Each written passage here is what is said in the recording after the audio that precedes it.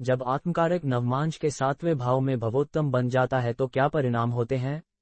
जब आत्मकारक नवमांश चार्ट के सातवें भाव में भवोत्तम बन जाता है तो ये रिश्तों, साझेदारी और विवाह पर गहरा प्रभाव दर्शाता है। आत्मकारक आत्मा की इच्छाओं का प्रतिनिधित्व करता है, और भवोत्तम का अर्थ है कि ग्रह, जन्म, कुंडली और नवमांश चार्ट दोनों में एक ही राशि में रहकर अपनी ताकत बनाए रखता है, जिससे उसकी ऊर्जा बढ़ती है। नवमांश के सातवें भाव में, जो साझेदारी को नियंत्रित करता है, ये स्थिति बताती है कि आत्मा का विकास रिश्तों से गहराई से जुड़ा हुआ है। व्यक्ति ऐसे साथी को आकर्षित कर सकता है जो उसकी आत्मा के उद्देश्य को पूरा करने में मदद करता है। ये स्थिति जीवन साथी के साथ एक मज़बूत, बंधन की ओर ले जा सकती है, जिसे अक्सर भाग्य या कर्म संबंध की भावना से चिन्हित किया जाता है। हालाँकि, आत्मकारक के रूप में ग्रह की प्रकृति इस बात को प्रभावित करेगी कि यह कैसे चलता है।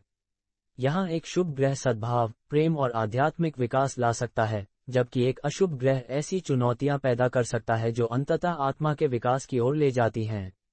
संक्षेप में, सातवें घर में आत्मकारक के रूप में भवोत्तम रिश्तों के आध्यात्मिक महत्व को बढ़ाता है, जिससे गहन आनंद और गहरे सबक दोनों मिलते हैं। कृपया अधिक जानकारी के लिए हमारे सोशल मीडिया प्लेटफॉर्म को सब्सक्राइब करें।